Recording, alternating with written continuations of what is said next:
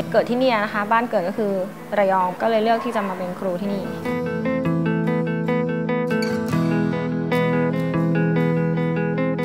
โดยแต่ก่อนเนี่ยโรงเรียนมาบตาพุทธพันธพิทยาคารเนี่ยจะมีที่ตั้งอยู่ในอาณาเขตของนิคมอุตสาหกรรมมาบตาพุทธนะคะ อยู่ในเขตที่ได้รับผลกระทบจากสารเคมีนะคะ เลยทำให้เนี่ยโรงเรียนจะต้องย้ายมาเพื่อที่จะป้องกันไม่ให้เด็กๆ ได้รับอันตรายจากตรงนั้น ซึ่งก็เป็นปัญหาสิ่งแวดล้อมที่ค่อนข้างใหญ่พอสมควร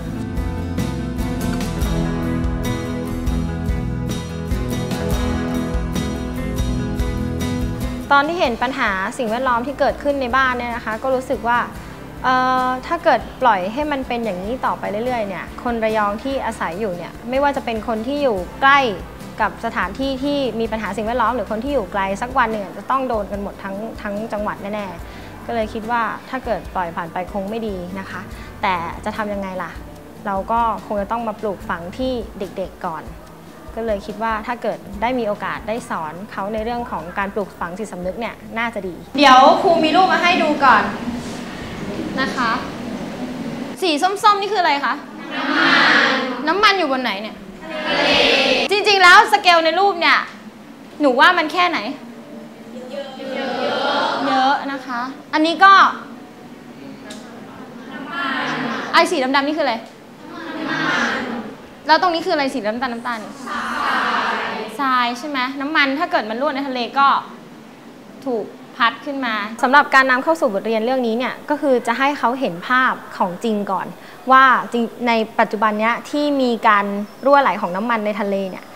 สภาพแวดล้อมที่ออกมาที่เสียหายไปมันเป็นยังไง ผลกระทบต่อสิ่งมีชีวิตต่างๆมันเป็นยังไง นกปลาสัตว์เล็ก ๆ หรือแม้กระทั่งสัตว์ใหญ่อย่างปลาวานมนุษย์เองก็ได้รับผลกระทบ พอเขาเริ่มมีจิตสำนึกแล้วเนี่ยเราก็จะเริ่มถามเขาว่า เราจะช่วยสิ่งแวดล้อมได้ยังไง ตอนนี้เขาจะเริ่มสร้างจิตสำนึกด้วยตัวเขาเองแล้ว อันนี้ใครเอ่ยนกน่าสงสารนะทำไมนกนกนกไม่น่าจะลงไปในทะเลไม่ใช่หรอทำไมถึงมีน้ำมันเต็มตัวไปหมด เคยเห็นนกนางนวลไหมคะ เขาหากินตรงไหน จับปลากินใช่ไหมมันจะต้องเป็นไง พุ่งชวกลงมาถูกปะคะ ถ้าเกิดว่าตรงนั้นเนี่ยมีน้ำมันเต็มไปหมดเลยก็จะเป็นอย่างที่เห็น กับเรามีผลไหมมีนักเรียนดูรูปนี้ มีผู้ชายสองคนตกลงไป ไม่ใช่บ่อน้ำมันนะคะ อันนี้คือทะเล เรือของเขาเนี่ยอับปางเป็นเรือที่ขนน้ำมันดิบแล้วมันอับปางลงหรือล่ม พอเรือล่มปั๊บเนี่ยพี่ผู้ชายสองคนนี้รอดออกมาจากการเรือล่ม แต่ต้องมาติดอยู่ในน้ำมันน้ำมันดิบเป็นอะไรที่หนืดกว่าน้ำมันที่เรากินอยู่ปัจจุบันนี้เยอะมาก ดังนั้นเนี่ยไม่รู้สองคนนี้รอดชีวิตหรือเปล่า เวลาจะช่วยคนพวกนี้นะคะ เราจะไม่ใช้เรือเข้าไปช่วย เราจะใช้เฮลิคอปเตอร์เข้าไปหย่อนและดึงตัวขึ้นมา หลังจากที่โชว์ภาพแล้วนะคะ มันเป็นภาพสเกลใหญ่ของท้องทะเลที่เกิดขึ้นจริงๆนะคะ เราก็ย่อสเกลลงมาให้เขาเห็นในห้องเรียน ก็คือโดยใช้ตู้ปลาแล้วก็กะลามะพร้าวนะคะที่ที่มันที่เจาะรูเอาไว้แล้วนะคะปิดรูเอาไว้ใส่น้ำมันเข้าไปแทนแทนปัญหาสิ่งแวดล้อมที่จะเกิดขึ้น ทีนี้ครูจะจำลองสถานการณ์ให้ดู นักเรียนสมมุติว่าอันนี้คือเรือนะเรือกะลาเนี่ยแหละค่ะเรือลำนี้บรรจุ น้ำมันดิบ อย่าตกใจว่าทำไมครูไปหาน้ำมันจากไหนมา อันนี้ครูไปเอาน้ำมันผสมกับผงโกโก้นะคะ ทีนี้เรือลำนี้บรรจุน้ำมันดิบเอาไว้ ตอนนี้เรือมีน้ำมันดิบอยู่ ปรากฏว่าแล่นไปเจอมรสุมคลื่น มากมายไก่กอง ลองทำให้เด็กดูโดยการเจาะกะลามะพร้าวออกให้เขาค่อย ๆ จมเหมือนเรือที่รั่วค่ะ หลังจากนั้นเนี่ย พอเขาจมเสร็จปุ๊บเขาจะเห็นเลยว่าสิ่งที่เกิดขึ้นคือน้ำมันที่อยู่ในเรือเนี่ย มันกลายเป็นปัญหาสิ่งแวดล้อมเพราะมันกระจายตัวออกทำให้เขาเริ่มคิดเริ่มคิดแล้วว่า ถ้าเกิดมีปัญหาอย่างนี้เกิดขึ้นเนี่ย เราจะแก้ไขยังไง เดี๋ยวรอดูเรือเราจมนะนักเรียน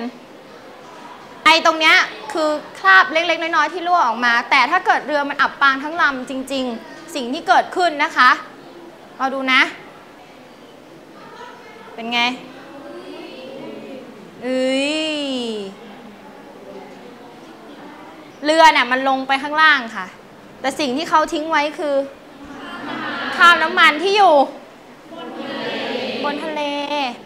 อย่างนี้นี่เป็นปัญหาสิ่งแวดล้อมไหมเขาจะเห็นผลเสียทางผิวน้ำก็คือมีน้ำมันกระจายออก แล้วกะลาที่เป็นเรือปลอมที่จมลงมาเนี่ยเขาก็เห็นด้วยว่ามันก็กลายเป็นขยะที่อยู่ใต้ท้องทะเล ทำให้เขารู้ว่าถ้าเกิดเกิดสิ่งนี้ขึ้นเนี่ยสิ่งแวดล้อมมันจะส่งผลกระทบหลายด้าน ถ้า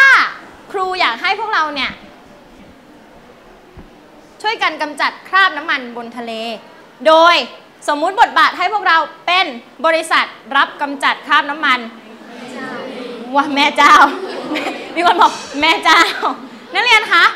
แต่ละกลุ่มเนี่ยเป็นบริษัทที่เข้ามาประมูล ครูเป็นรัฐบาล พวกเราเป็นบริษัท นะคะที่จะต้องเข้าไปประมูลโดย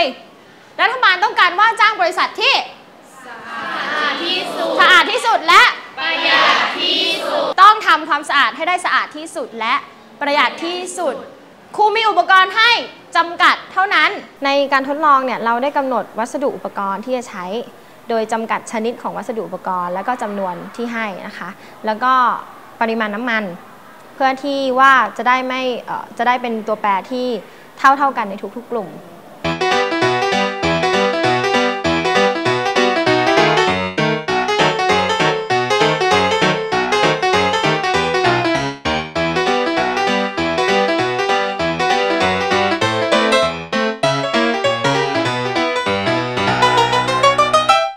เขาจะได้กระบวนการวิทยาศาสตร์ไปโดยที่เขาไม่ต้องมานั่งมานั่งท่องจำว่ากระบวนการวิทยาศาสตร์เนี่ยมันมีอะไรบ้าง เขาจะเริ่มตั้งแต่วางแผนเอง เริ่มเช็ควัสดุอุปกรณ์ ดูความสามารถของอุปกรณ์แต่ละอันว่ามีความสามารถแค่ไหนในการจัดเก็บน้ำมัน แล้วเขาก็ได้ออกแบบการทดลองเองทั้งหมด เขียนสรุปเอง เปรียบเทียบเองว่าอันไหนเนี่ยดีที่สุดต่อการกำจัดด้วยวิธีไหน ก็น่าจะลอยได้นะจะไปกินได้ไหมอะแต่ยังไม่ให้อุปกรณ์แตะตรงนี้นะคะแต่ตรงนี้ติดลงไปปะครับมันไงจุ่มไปมันก็ไม่ค่อยเหนียว เออก็มันเหนียวนะตรงใสๆนี่คือไม่มีน้ำมันใช่ปะตรงนี้ไม่มี ตรงใสๆตรงนี้คือไม่มีน้ำมันใช่ปะมี หนูลองลองจับจับดูอุปกรณ์เนี่ยนะคะ แล้วหนูลองคิดดูว่าอันไหนเนี่ยมันน่าจะดูดเก็บน้ำมันได้ดีกว่ากัน มันมีตั้งหลายอันใช่ปะเออมีทั้งสำลีก้อนสำลีแผ่นแล้วก็พวกนี้ใช่ไหม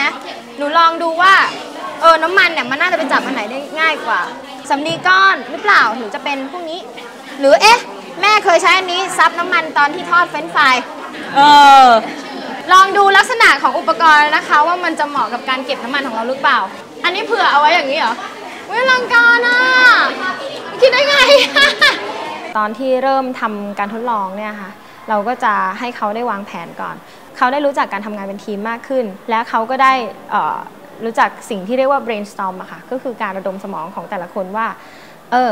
คนนี้คิดอย่างนี้อย่างนี้ คนนี้คิดอย่างนี้อย่างนี้อย่างนี้ เอามารวมกันซิได้ผลน่าจะดีกว่าไหม เราได้เห็นทักษะการคิดของเด็กว่าเด็กไทยเนี่ยคิดได้นะ คิดได้หลายวิธี แล้วก็ทำให้รู้ว่าจริง ๆ แล้วจินตนาการของเด็กค่อนข้างที่จะกว้างไกลอะฝ่ายพัสดุแต่ละกลุ่มนะคะ ครูจะให้น้ำมันไปกลุ่มละ 15 มิลลิลิตร โดยจะเทใส่ในทะเลจำลองให้เลย หลังจากนั้นหนูเก็บขึ้นมาแล้วใส่ไว้ในบิ๊กเกอร์นะคะชัว กว่ากระเด็นเข้าตาช้อนมาเจ็ดเอาอะไรก็ได้อุ้ยเออมันจะเปียกเหรอเนี่ยอะจี้จี้จี้บีบออกจี้บีบออกน้ำมันออกมาน้ำมันเยอะได้ไหมได้เยอะไหมคะไม่ค่อยเยอะเท่าไหร่อะหนูลองหนูลองหนูลองเปลี่ยนดู แต่ที่หนึ่งคือเราจะเอาทิชชู่ค่ะลงไปไปในนี้อ๋อลงไปก่อนนะคะอะดูแล้เพื่วอไงดูต่อผลว่ามันจะซึมซับได้มากน้อยแค่ไหนอืมแล้วผลเป็นไงทิชชู่ผลก็คืออย่างนี้เห็นนะคะซึมได้แต่ดีไหมไม่ดีเท่าไหร่อะไม่ดีเท่าที่ควร เอาออก เป็นไงได้บ้างได้ผลปะลองลองเอาขึ้นมาดูดิเออ ใช้ข้างเดียวอะนะ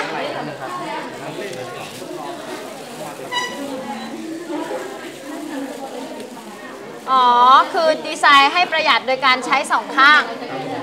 แล้วลวดกำมะหยี่เนี่ยเอามาทำอะไรลูกเอามาไว้เป็นแกนเหรอโอเคไหมมันมันมีน้ำซึมออกมาเยอะไปปะต้องลองอะลองลองลองลองเอ๊ะมันออกมาแต่น้ำอะเออน้ำมันยังติดอยู่บนนี้อยู่เลย จากที่เด็กๆ เขาได้ลงมือทำการทดลองตามแผนเขาที่วางไว้อะนะคะ บางครั้งหลาย ๆ กลุ่มก็จะพบว่าแผนที่เขาวางไว้เนี่ยมันไม่เป็นไปตามแผนสัทีเดียวทำให้เขาได้เกิดการปรับเปลี่ยนวิธีการ ซึ่งมันเป็นทักษะกระบวนการทางวิทยาศาสตร์อย่างหนึ่งทำให้เราได้เห็นว่าเด็กเขามีพัฒนาการ และเขาได้ได้คิดจริงๆอะค่ะ ใช้ไอเนี้ยช้อนตักอะค่ะแต่ว่าแต่มันมันจะได้น้ำมาเยอะกว่าน้ำมันอืมแล้วก็ทำให้น้ำมันแตกเยอะมากและทีนี้หนูก็เลยเปลี่ยนเป็นเรื่องกำมะหยี่เรื่องกำมะหยี่เป็นอุปกรณ์ชนิดที่สองใช่หนูลองสำลีบ้างยัง ลองแล้วค่ะแล้วเป็นไง ดูดน้ำออกมาได้เยอะมากอืมดังนั้นอุปกรณ์ที่ดีที่สุดสำหรับหนูก็คือเลือดกำมะหยี่เรื่องกำมะหยี่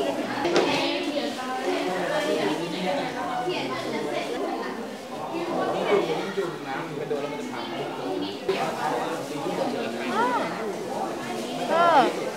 แถม แถม ปริมาณน้ำมันที่แยกออกมา มีน้ำปนอยู่น้อยมาก ใช่ไหมคะ โอเค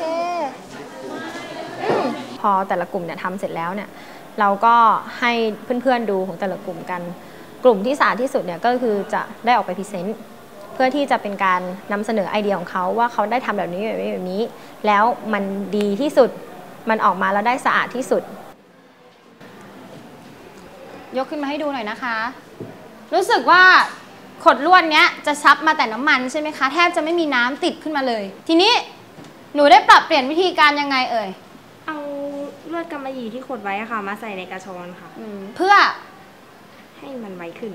ทำให้มันได้เร็วขึ้นนะคะอะขอดูอีกสักครั้ง ตอนนี้เพื่อนเอาลวดกำมะหยี่ใส่ลงไปในกระชอนนะคะ ที่ขดเป็นวงกลม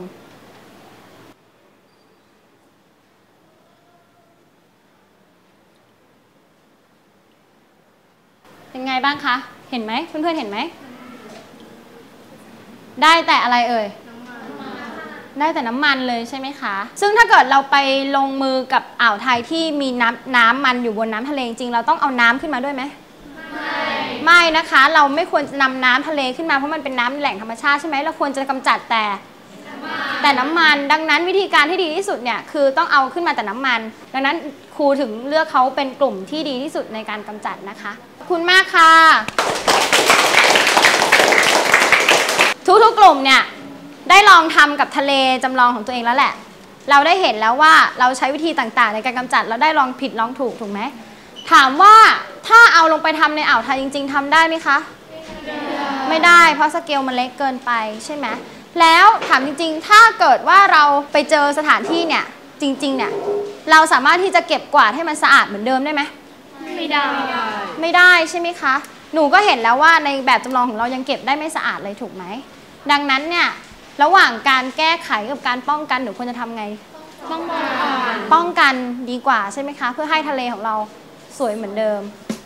ในการสอนเรื่องเนี้ยนะคะกะลาจมน้ำเนี่ยสิ่งที่คาดหวังว่าเด็กจะได้จริงๆเนี่ยคือจิตสำนึกในเรื่องของการรักสิ่งแวดล้อม